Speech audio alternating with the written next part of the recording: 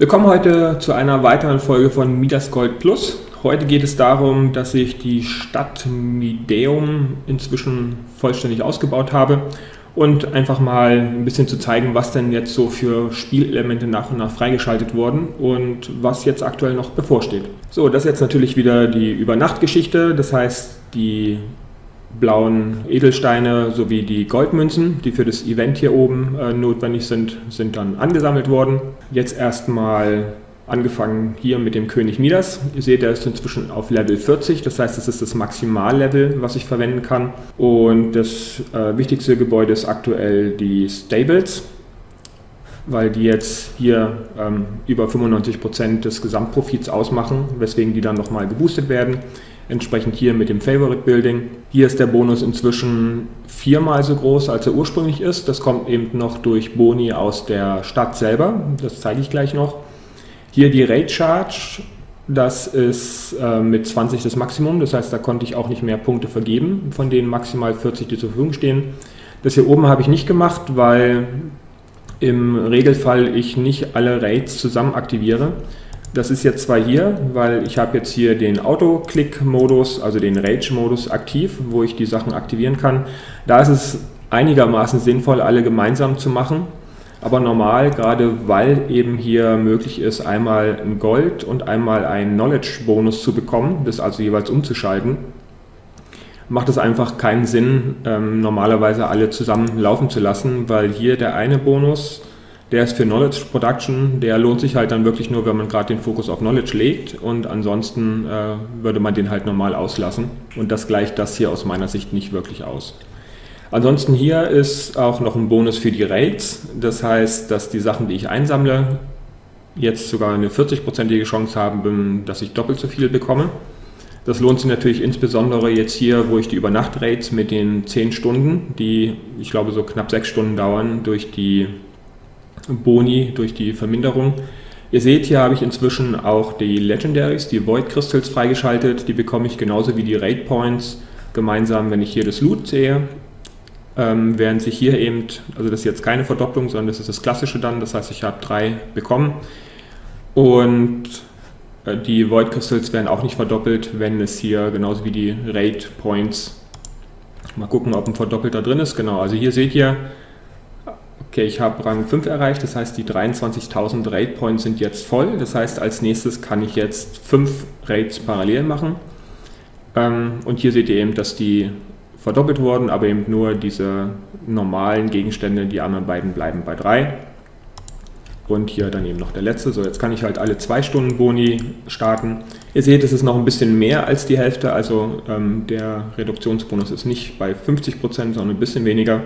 Und hier unten seht ihr letztlich die, wie viel ich insgesamt aktuell angehäuft habe.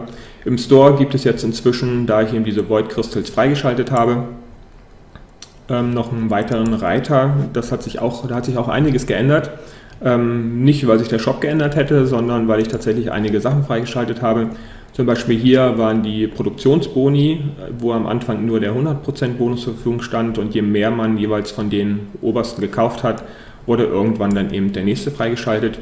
Ich bin nicht sicher, also so vom Platz her würde ich meinen, dass hier wahrscheinlich noch eine Karte dahinter liegt. So viele Ultimates habe ich aber noch nicht gekauft, dass hier eventuell noch eine weitere, weitere Steigerung freigeschaltet wurde.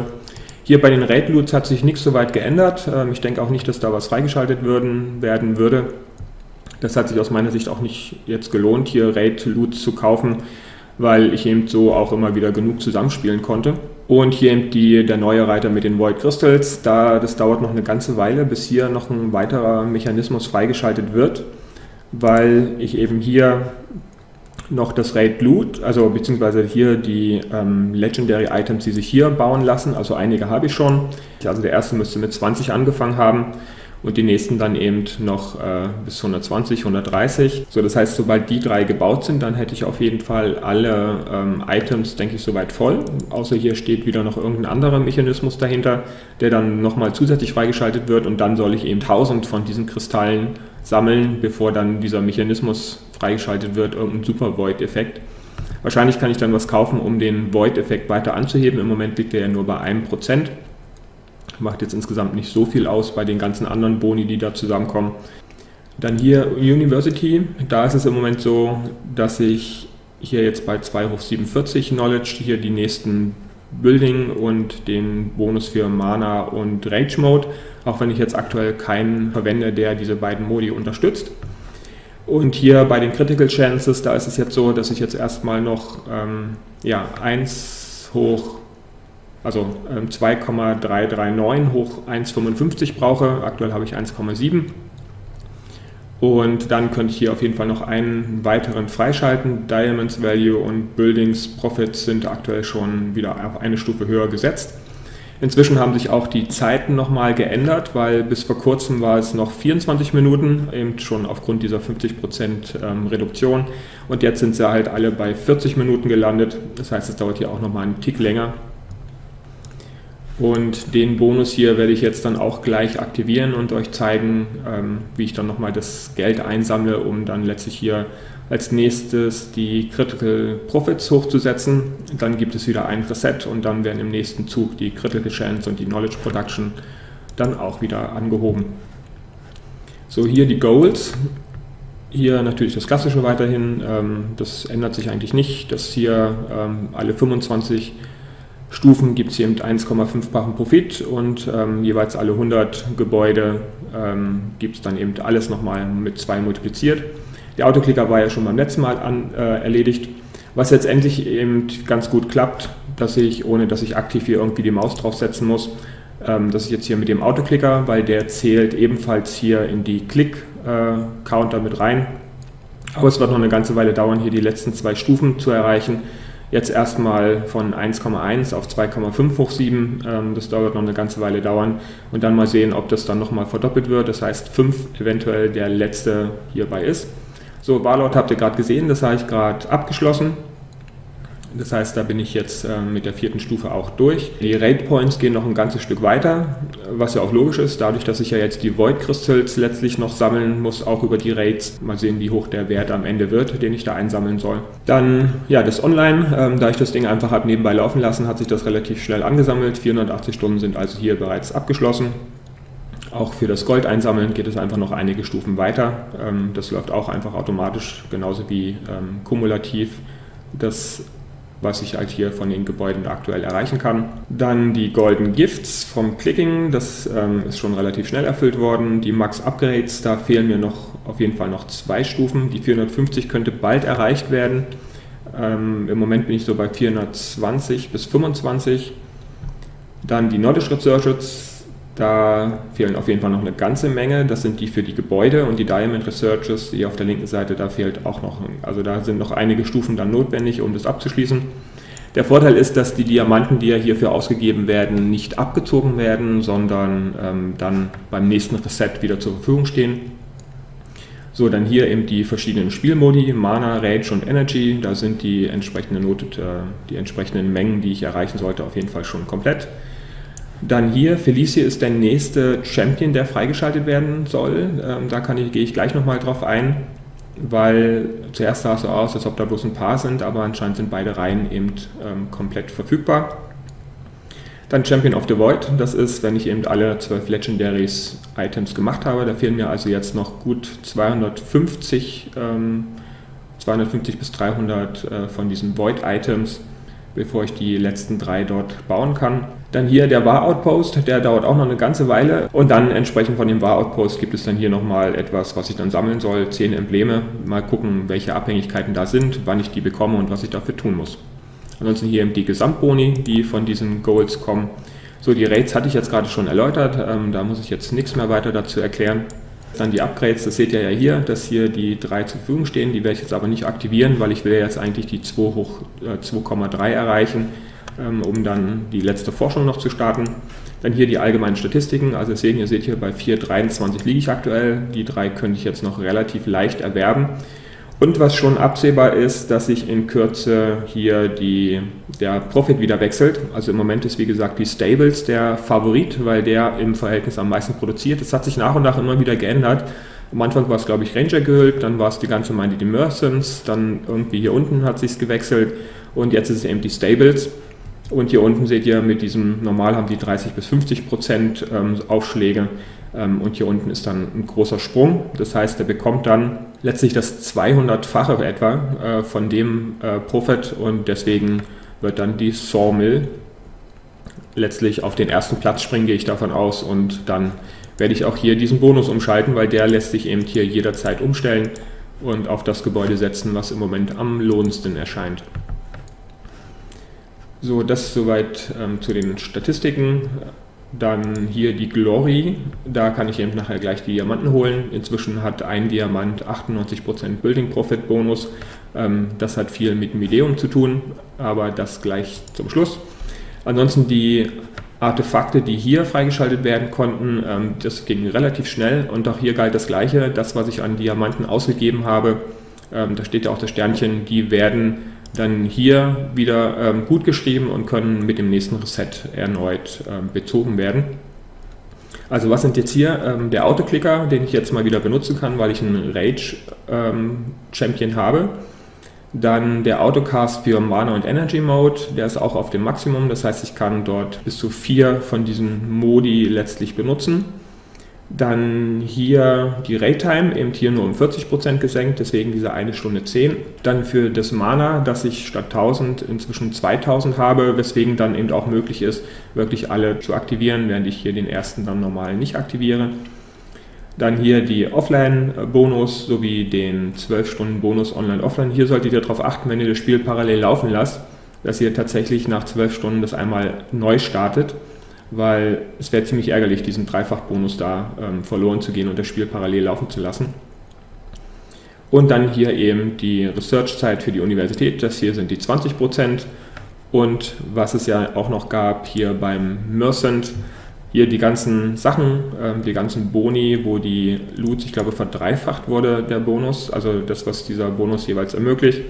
Dann eben hier die Universität hier nochmal mit 50 Prozent ähm, Verminderung und Knowledge Gain und Gold Bonus, die ich da jeweils auch auf dem Maximum habe.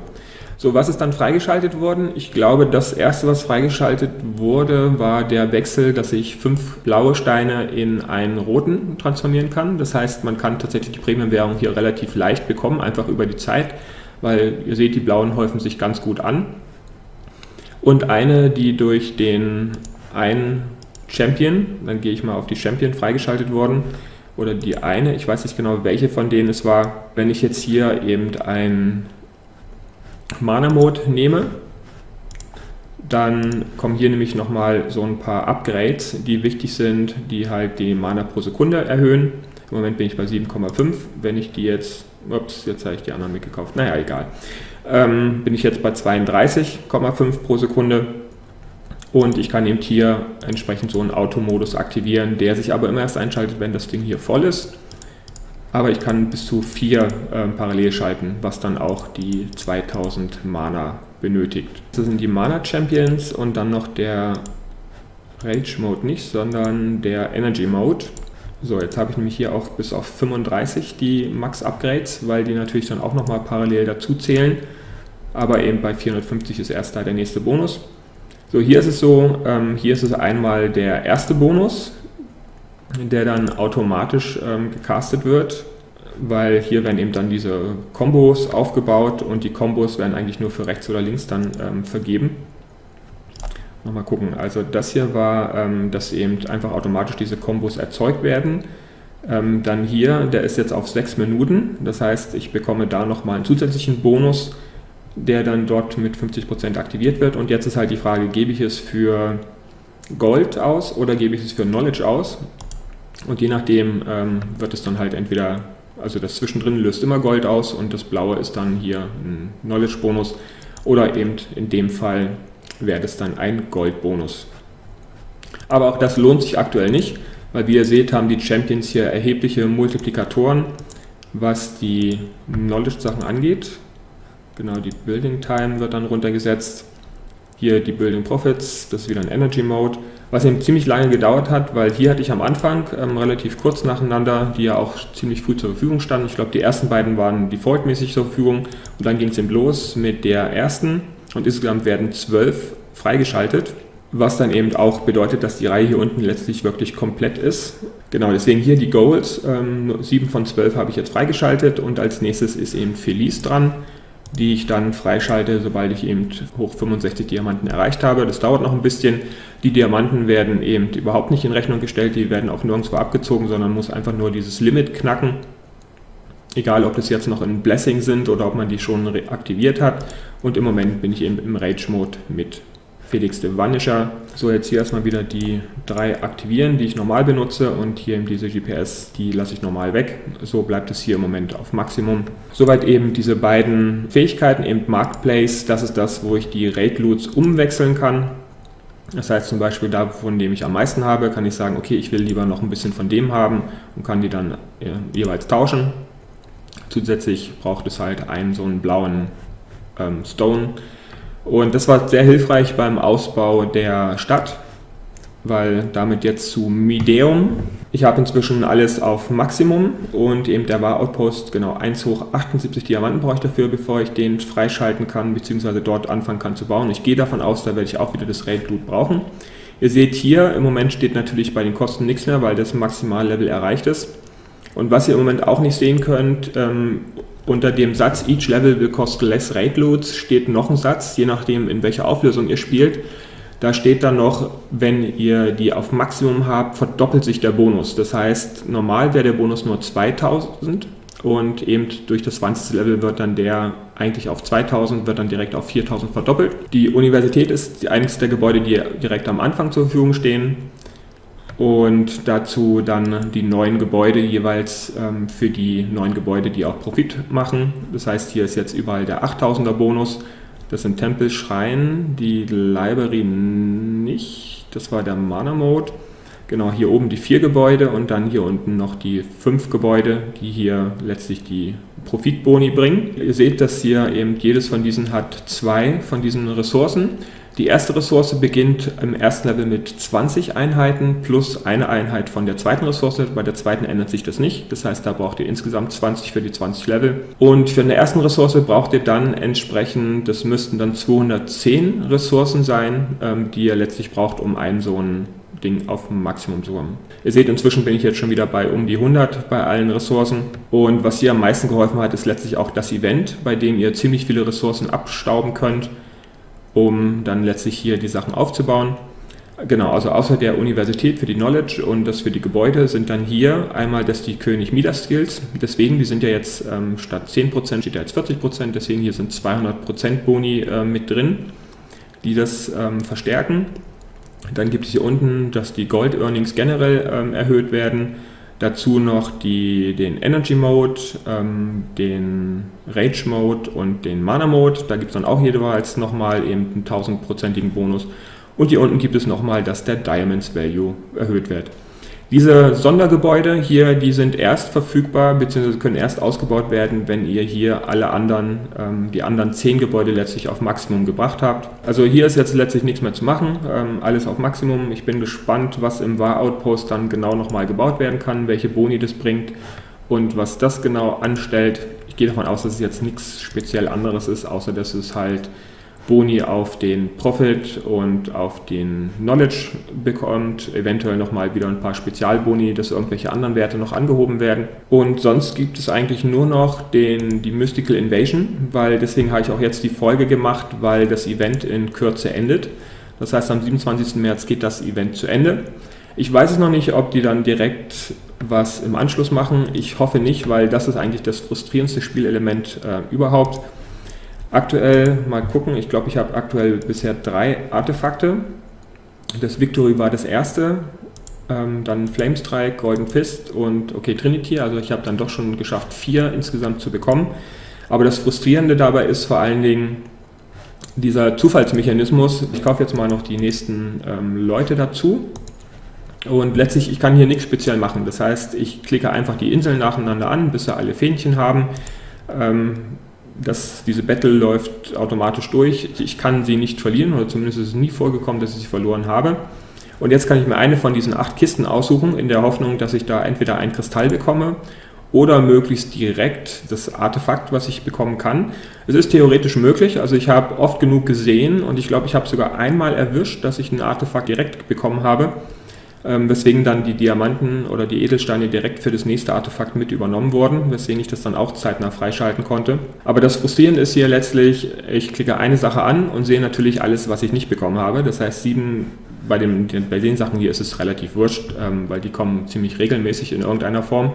Das Frustrierende ist es dann nur, wenn ich das mit den Diamanten sehe, weil ähm, natürlich sehe ich dann hier ab und zu Diamanten aufpoppen, wenn sie denn mal kommen. Lustigerweise, wenn alle fünf noch leer sind, ähm, kann es sogar passieren, dass zwei Diamanten gleichzeitig kommen. Das heißt, die kriegt man relativ schnell. Zwei ähm, Versuche waren jetzt schon komplett leer. Das heißt, es ist überhaupt kein Diamant aufgetaucht. Das heißt, ich hätte gar keine Chance gehabt, einen Diamanten zu bekommen. Und das Wichtigste, was jetzt einigermaßen passt, ist wirklich eine Kiste sich aussuchen und ganz stur, egal was passiert, bei einer Kiste zu bleiben. Weil ich habe es letztens erst wieder ausprobiert, weil es hat mich dann so geärgert. Ich habe die Kiste rechts hinten genommen und habe hier links daneben ist, glaube ich, dreimal in zwar größeren Abständen und ich weiß nicht, wie oft hier Diamanten aufgetaucht sind aber dreimal allein hier ist äh, das Artefakt selber aufgetaucht. Das ist dann noch ein oder zweimal woanders aufgetaucht, aber trotzdem diese Häufigkeit direkt an einer Kiste. Und dann habe ich es gewechselt und was ist passiert? Genau in dem Moment, ich weiß nicht, ob es ein Diamant war oder tatsächlich, ich glaube, es war sogar das Artefakt, ist es prompt auf der Stelle aufgetaucht. Und ich denke mir, das kann doch echt nicht wahr sein. Ähm, also entweder ist der Zufall hier nicht zufällig genug und es wird hier noch ein bisschen was gedreht, ich weiß es nicht. Ähm, es, auf jeden Fall, diese Zufallselemente sind an Spielen aus meiner Sicht immer das Frustrierendste überhaupt, weil ich immer unter die Nase gehalten bekomme, was ich nicht bekommen habe.